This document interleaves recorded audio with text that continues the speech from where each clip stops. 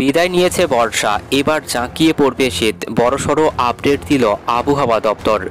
তো বাংলার কোন কোন জেলাগুলিতে কবে থেকে জাঁকিয়ে পড়বে শীত? কি বলছে আবহাওয়া দপ্তর? জানতে হলে ভিডিওটি সম্পূর্ণ দেখবেন। ভিডিওটি ভালো লাগলে লাইক করবেন।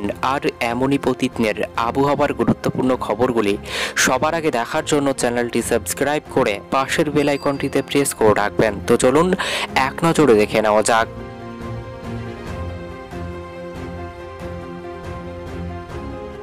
দেরিতে হলেও বর্ষা বিদায় নিয়েছে দেশ থেকে। আবহাওয়া দপ্তর জানিয়েছে, সাধারণত পনেরোই অক্টোবরের মধ্যে বর্ষা ভারত থেকে বিদায় নিলেও এবার কিছুটা দেরি করেই বিদায় নিল। তবে শেষ প্রহরে বেশ কিছু বড় ঝাপটাও দিয়ে গিয়েছে, যার প্রভাব এখনও লক্ষ্য করা যাচ্ছে পার্বত্য এলাকায়।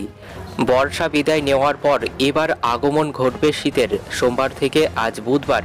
সকালের দিকে বেশ কিছুটা কুয়াশাচ্ছন্ন এবং মেঘাচ্ছন্ন আকাশ বিরাজ করছে বাংলার সর্বত্রই তবে হাওয়া অফিস জানিয়েছে কালী পুজোর আগেই এক প্রস্ত ঠান্ডা পেতে পারে বঙ্গবাসী। দেখা দিতে পারে পাক শীতের মরশুম। আজকের আবহাওয়া। আজকের দিনে কলকাতা শহরের সর্বোচ্চ তাপমাত্রা থাকবে বত্রিশ ডিগ্রি সেলসিয়াসের আশেপাশে এবং সর্বনিম্ন তাপমাত্রা থাকবে পঁচিশ ডিগ্রি সেলসিয়াসের আশেপাশে। সকালের দিকে আংশিক রোদারচল্য এবং রাতের দিকে আংশিক মেঘলা আকাশ থাকার সম্ভাবনা রয়েছে। উত্তর এবং দক্ষিণবঙ্গের আবহাওয়া। বর্ষা বিদায়ের পর রাজ্যে প্রবেশ করতে চলেছে এবার উত্তরে হাওয়া। আবহাওয়াবিদরা জানিয়েছেন এবছর বর্ষা বিদায় নিতে যেমন বেশি সময় নিয়েছে তেমনই শীত পড়বে এবার বেশি চাকিয়ে।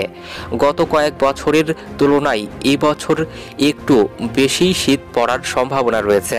আগামীকালকের আবহাওয়া। আগামীকাল কলকাতা শহরের সর্বোচ্চ তাপমাত্রা থাকবে বত্রিশ ডিগ্রি সেলসিয়াসের আশেপাশে এবং সর্বনিম্ন তাপমাত্রা থাকবে চব্বিশ ডিগ্রি সেলসিয়াসের আশেপাশে। সকালের দিকে আংশিক রোদার এবং রাতের দিকে আংশিক মেঘলা আকাশ থাকার সম্ভাবনা রয়েছে। এবার থেকে কমতে শুরু করবে রাতের তাপমাত্রা। তো এই ছিল আবহাওয়া দপ্তরের দেওয়া লেটেস্ট আবহাওয়ার আপডেট ভিডিওটি ভালো লাগলে লাইক করবেন। ধন্যবাদ।